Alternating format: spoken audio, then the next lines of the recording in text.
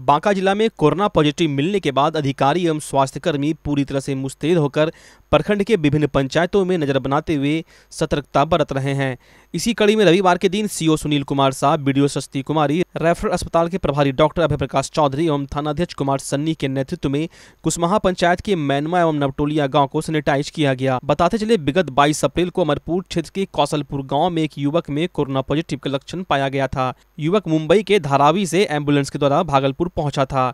जहाँ मायागंज में जाँच के लिए युवक को रोक लिया गया था। इसी एंबुलेंस में अमरपुर थाना क्षेत्र के मैनमा गाँव के एक युवक अपनी माँ के सबको लेकर आया था।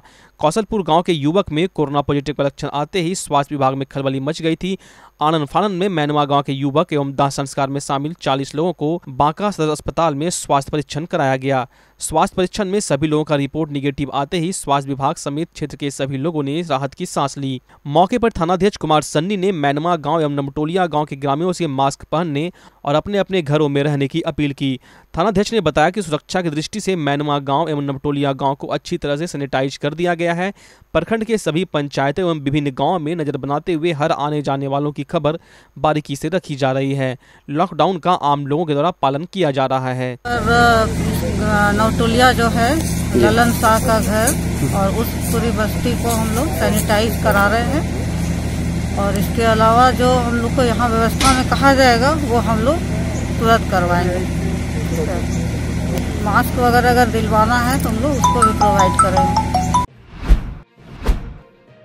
लॉकडाउन की वजह से खाने पीने में हो रही दिक्कत के कारण छपरा से चले तेरह मजदूरों को बांका ज़िले में चौदह दिनों के लिए क्वारंटीन किया गया है। बंगाल के तेरह मजदूर गुरुवार को साइकिल से ही अपने घर बंगाल के मुर्शिदाबाद के लिए निकले थे। बांका के सामुदायिक स्वास्थ्य केंद्र बांका की सीमा में प्रवेश करने से पहले इन्हें कहीं नहीं रोका गया। तीसरे दिन ज़िले के अमरपुर से होते हुए ये सभी रजौन प्रखंड में दाखिल हुए। स्थानीय प्रशासन को भनक लगते ही सभी को पुनसिया में रोका गया।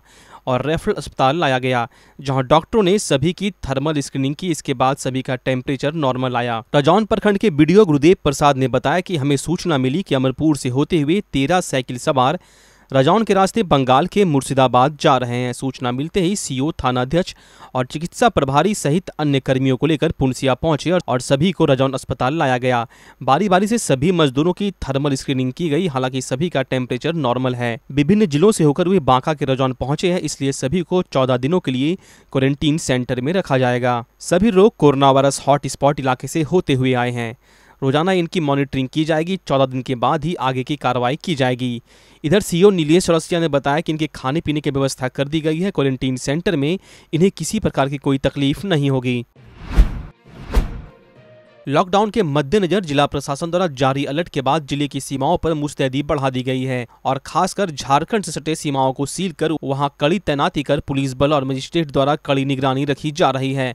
रविवार को बाराहाट प्रखंड के सीओ शरत मंडल ने पंजवाड़ा स्थित झारखंड बॉर्डर चेक पोस्ट पर पहुंचकर बॉर्डर की गतिविधियों की जानकारी ली और कड़ी निगरानी रखने का निर्देश दिया।